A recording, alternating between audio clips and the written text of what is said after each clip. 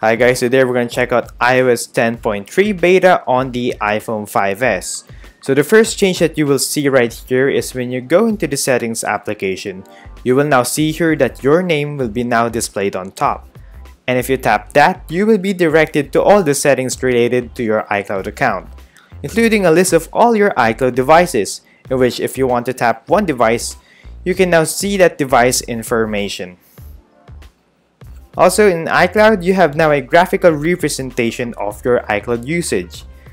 Also with iOS 10.3 beta, there is now a new Apple file system in which this offers you optimization for flash storage, this has strong encryption, and also in a way allows you to free up some space for your device.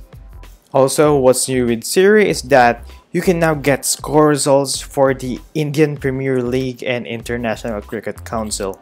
Also, in some areas, inside settings, in-app ratings and reviews is available. Also, if you are using AirPods, there is now a new feature here that allows you to track your AirPods using the Find My iPhone application. And also, iCloud Analytics is here for Apple to gather information to improve their iCloud service. So those were some changes available in iOS 10.3 beta on the iPhone 5s. So as always guys, thank you for watching and please subscribe for more.